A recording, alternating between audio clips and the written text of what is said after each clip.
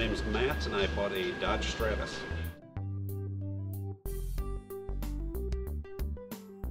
Uh, his name was James, uh, and it was a great experience.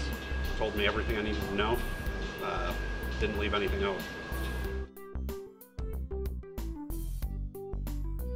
Uh, need a new one, and uh, this is place that seemed to be able to do it best.